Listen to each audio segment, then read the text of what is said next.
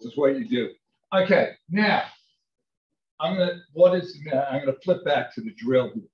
They they were wondering why if something let's put like Z here in the middle, why Z is not better for long run economic growth than X. And it's because at Z, even though you have a balance, yes. This possibly, I wonder just No, because I think I'm doing this out of the goodness of my heart.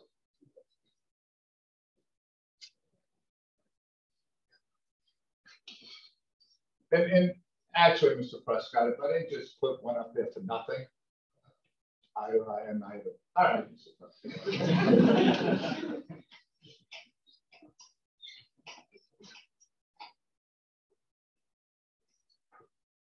okay. So anyhow, if you're at Z, while it might be good for the present, because you know it's good to have some capital goods and some consumer goods in balance. If your real concern is long-run economic growth, then you want to be an X, because like we said earlier, you want to have more capital goods because you want to have build factories and machines, because then in the future, you're going to make more consumer goods. Is there any situation where you want to be a hotel wheel instead? That would like make that a better choice than being an X. Yeah, I guess if you didn't care about the future of the country. We probably had some presidents like that. Um, I, it, it, probably isn't a good place to be. Yes, sir. That's good. Should I get a blunder for that? Thank you. okay. All right. We did this yesterday, right? We went over this. All right. I think we stopped at these practice ones, right? Could you take out yesterday's sheet? Because we didn't, I don't think we finished. We didn't do all the practice.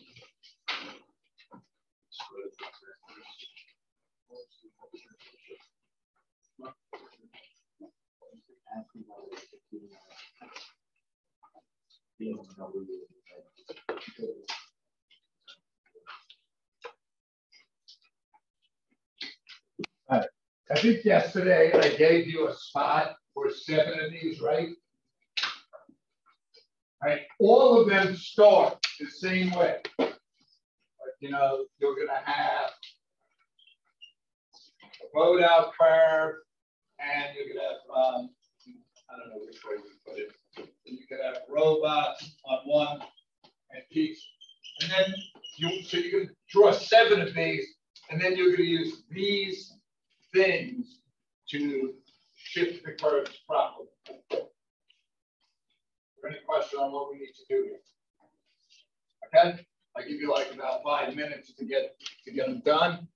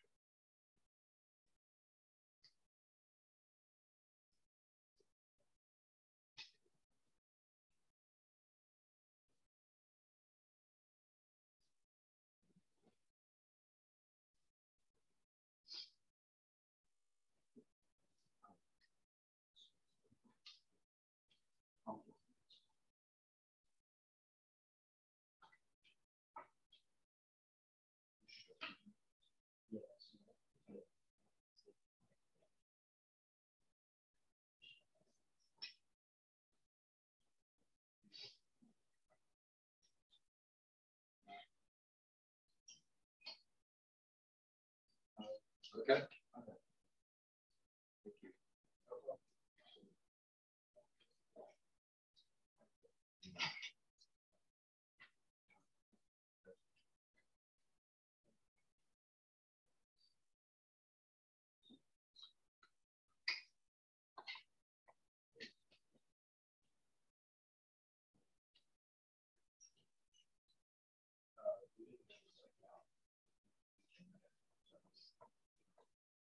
If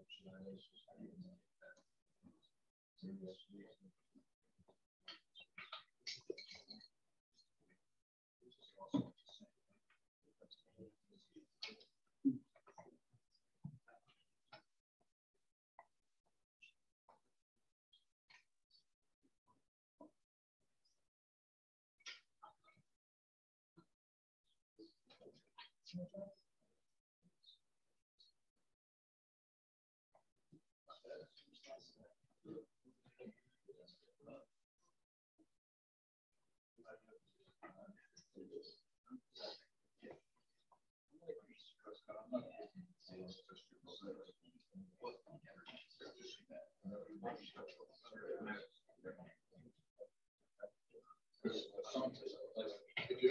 don't put an arrow on it, you should be around.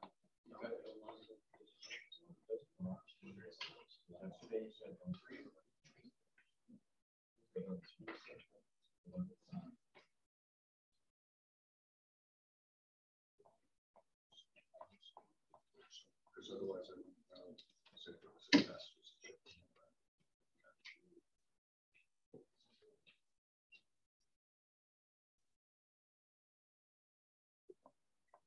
We'll Give you another like 30, 45 seconds.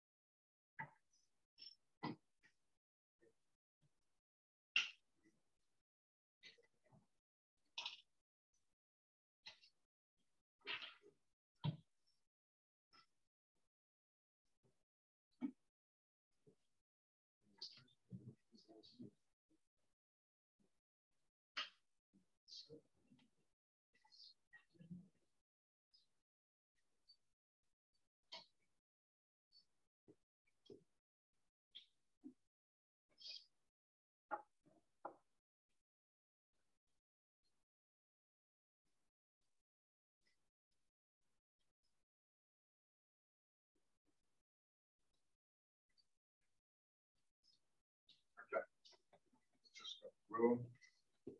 Yeah. Couple of things like just working around.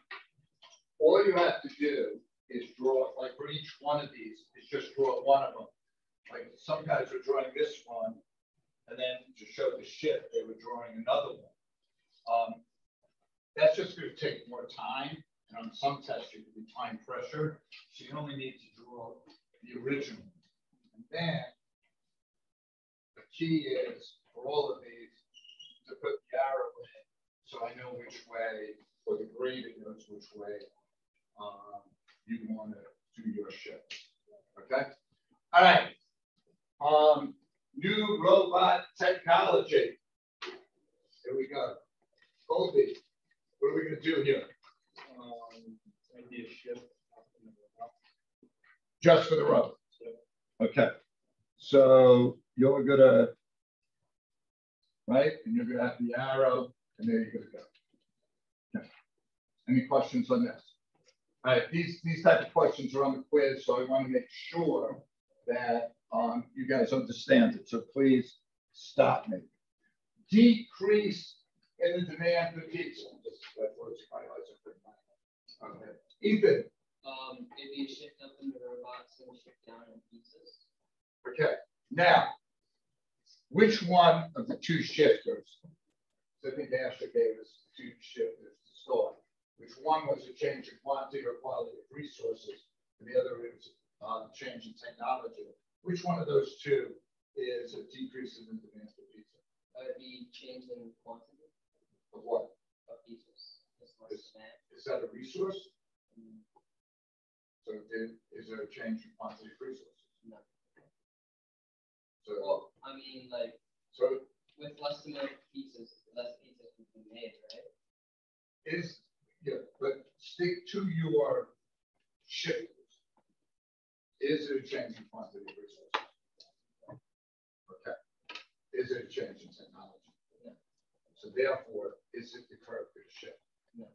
Yet, what you said is true. If there is a change in demand for pizza, we're gonna probably make less of right? So how do you think we're gonna show that? Um, it would be the same line the pieces would just decrease, right?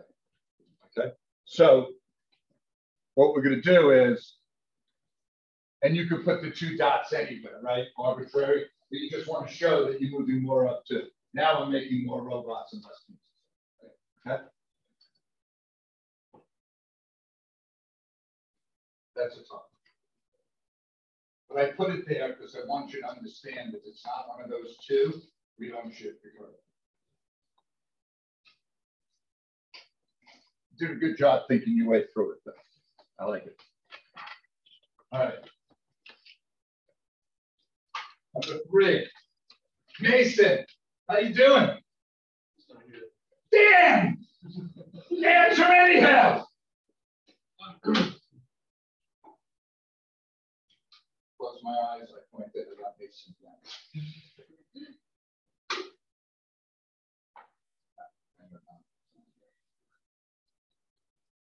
Go, answer, I'm just too frustrated with myself.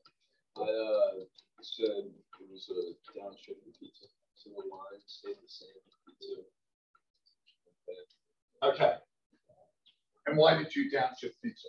Because uh, the quantity of cows that make cheese for it went down. I, I would say to you, to be honest, on a test, I don't know if they make you know that, like cows, cheese, all that. I- I don't think they would have you know that, but you did. There it is. You saw it. The pizza is down. You yeah. You're going in. Any question? Okay. Number four. All right. Number four, I think, could be argued. So, um, anyone feel good about number four? I wanna, tell me. I think it would just be a decrease in chemical goods, Okay, why did you go that way? because like oil, and all that like helps machines run, or the power machines. Okay, I said no change because it's not like it's two shifters. what shift did you think it was? A change in the quantity, that's what it's- So, oil being a resource? I think we'd shift both because I think um, oil is kind of vital for both consumer and capital. So oil is definitely a resource. So I shifted both. However, I would have taken the shift of capital only. If it was a test, I'd have taken both answers because I just think it's, it's kind of broad. All I'm going to say is a question on a test is going to be more specific. So if you shifted just the capital goods, I, again, I wouldn't have, I wouldn't have given it to you wrong.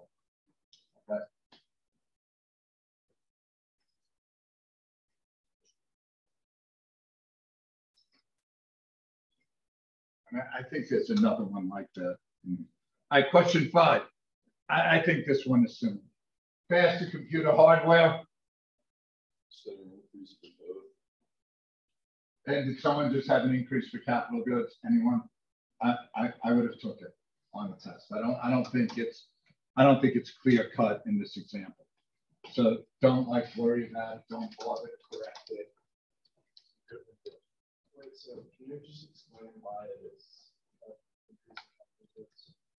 Because like computers really are, you can consider capital good because they, you know, help make things faster and better in technology. But, you know, you'd argue that you use computers also to help do consumer goods and improve. Okay. Number six, many workers unemployed. Yeah, you're on. Let's go. Did I wake Said you up? Downward shift for both. Uh, because it's not a change Okay. in technology, but it is like the quantity of workers, I guess, but that's not a resource. So Well, upon- Well, workers are a resource. Oh, okay, then yeah. Did the quantity of workers change? Um, no. It's just saying many workers are unemployed. So, I mean, yeah, I don't know. So it just depends on how, like, what you're referring to. That, that, that, that's true. Elliot, Um, the curve stays the same, with the dot be down. Jackson? You agree? Okay. Here, here's the thing. So first of all, they're both right. Okay, you just have the dot in the middle. Now, why isn't it a change in resources? Because if you remember yesterday, I said, a million people come to the United States, the. Right. So if I had hundred people originally and all hundred worked. I have a hun, now they're saying I have hundred people, but only eighty are working. I still have the same amount of people, I'm just not using them efficiently. Yeah, but wouldn't that affect the production if you don't have as many people working? Yeah, Therefore, and that's- That's why you move from out here to here. Uh, okay, so the whole. You're not shifting the shift. curve. Yeah, yeah, yeah, That's just showing that you're inefficient when using your resources. gotcha. Okay? Any questions on that? Yes, sir. So is this like assuming like the workers, like what if they like don't want to work? And like they just refuse to work? then you're not using. You're not using the You, you couldn't. It's kind of like using every seat in this room to be efficient, right? But if five of you just don't want to come to school, well, it might not be my fault, it's still not efficient. Okay? And when, when we get into macro, we'll look at what we call unemployment really isn't unemployment. Because there's people who don't work and we don't, we don't count those people as unemployed. because Say, hey, they don't feel like working today. All right, and then the last one, significant increases in education.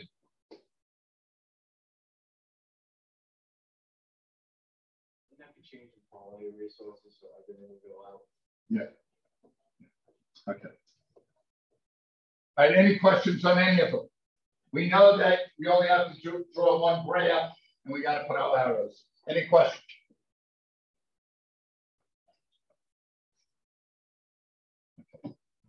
All right, still on this page, or I think there was a little room on the bottom. I want to talk to you about two efficiency. One is productive efficiency. That is every spot on the line. That products are being produced at the lowest cost.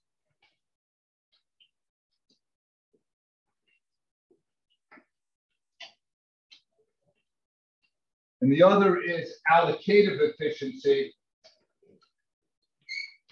The- I didn't like put them there, but I gave you a space, I think, at the bottom, all right? It's also like the news. Oh, is it? Okay, so you could go to new. All right, so product efficiency, products are being produced on the cost. That is any spot on the line.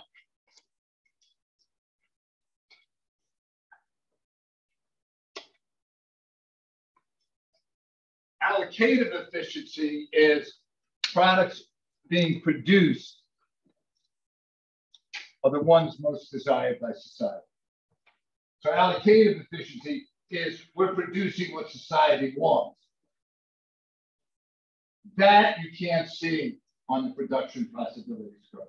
So you cannot determine allocative efficiency. You can only determine productive efficiency.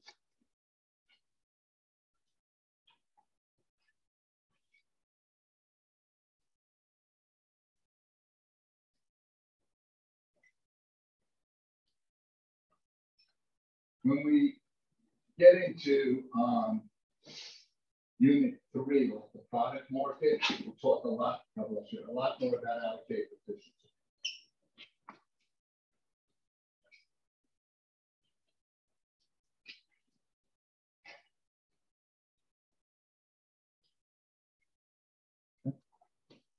Any questions on that? You go back for a second. Yeah, yes, sure.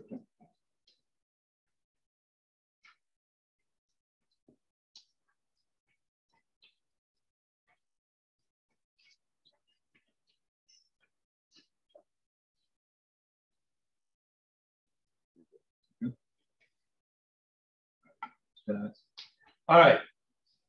Do you need something? Do you need it back? Yeah.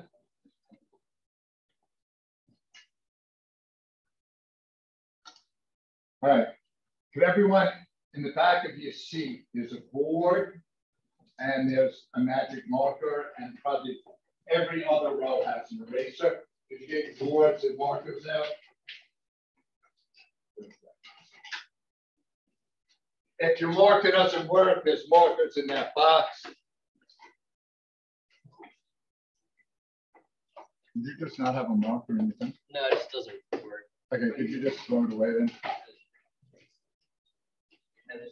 no marker anymore, so. To. Throw it away? Throw it Yeah. Okay? All right, I'm gonna give you a minute. Like that's pretty much what you got on the AP test. When you have the answer, just put it in big letter on your board. Which of the following explains why the production possibility curve is often represented as a concave road out from the origin?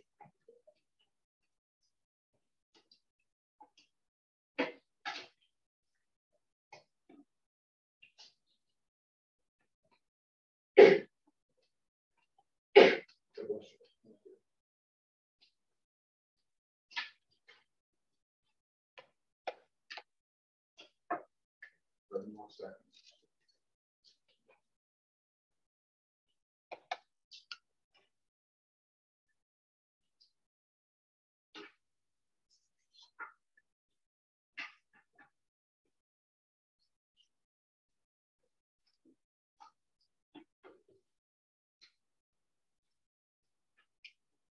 You don't know, take your best guess. Obviously.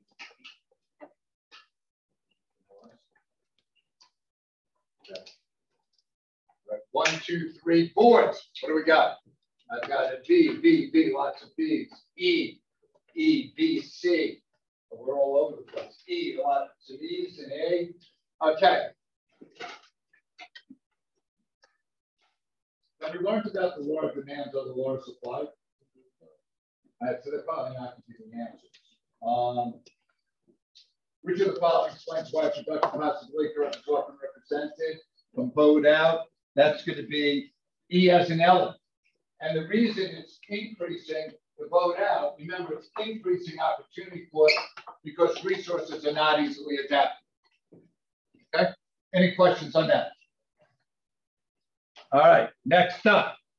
For an economy with a straight line production possibilities curve, which of the following must be true? Give you another minute.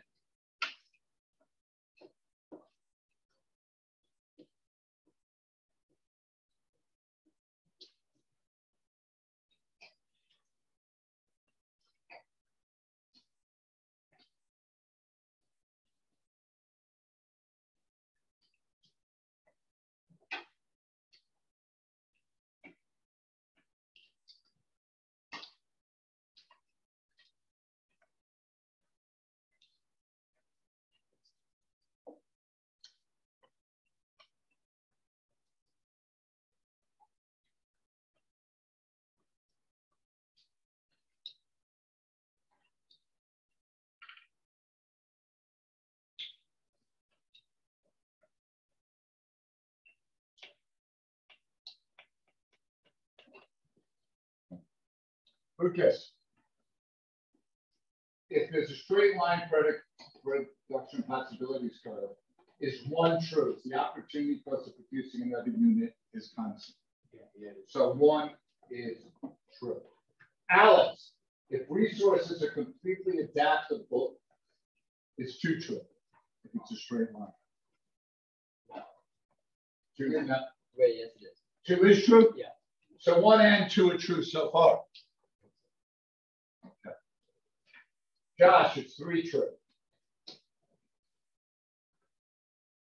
Um,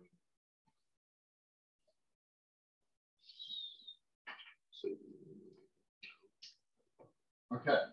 They can be efficient, but they could be outside, they could be inside the line too, right? Yeah.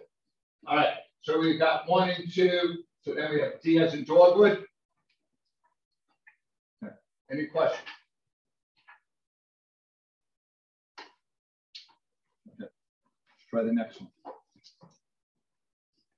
D. I'll put that back just so you can see it. The opportunity cost is constant. Resources are completely adaptable. Resources can be efficient, but they don't have to be. If resources were perfectly substitutable in all activities, which of the following would be true?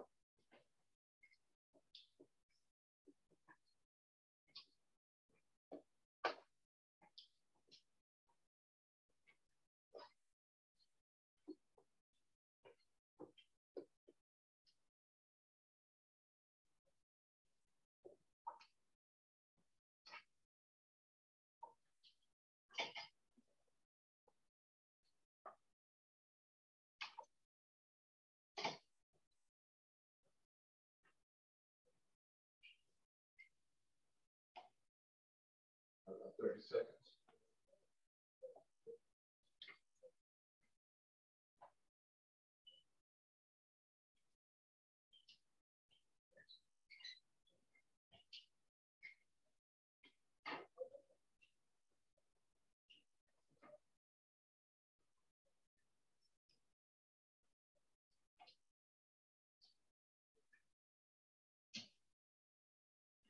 That gets up you on your board. See what we've got. This is a tough one. All right, boards, please. Let me. I got D, B, B. I got B's. I got a lot of B's. I've got a lot of B's. I got an E. I got a C. All right. The consensus here is that production possibility growth would be a straight line. Someone explain why they think that is. No country or individual would have competitive. Who's got, why do you think D is? Um, I said because if all resources can be used, uh, any like a country that like has certain resource uh, advantage, like Cocoa, South America, they don't have advantage of like, Cocoa, like substitute for like coffee. Thought that it was C because uh, if everybody had a resource that could make everything, then uh, you wouldn't really be able to trade the two. Okay. The, where are the B people? They seem to be the biggest. I said B because like as you go up the line, um, like the resources, like as you make less of one, you make the exact same more of the other on the graph. Anyone else? I said B because it, like the question is kind of just saying like what would happen if like the resources were like plugged into, like, resources, which is basically what you said. So they'd be easily adaptable, right? Yeah.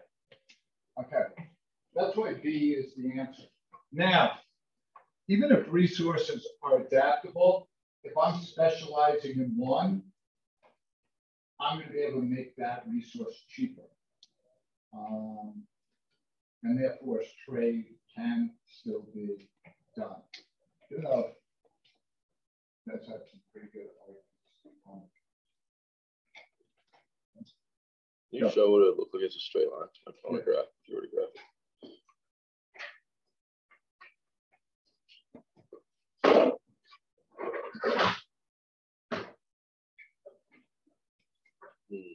Then when resources aren't easily adaptable. Yeah. Okay, yeah. Okay. Yes, sir. So how would specialization still be like constant? I, I think like, um, but you're saying like, why would we need iron in the other country? If iron is perfectly substitutable. Uh, I, I, I'm not saying what you guys are saying is. Not, I'm not saying this is a great question. All right, any questions? If you could fill out that form, put it in the box. Have a great day. Sunday at eight or seven forty-five Monday. Please, no matter what, take the practice quiz. It's on the topics page. As soon as you fill that out, you're free to go.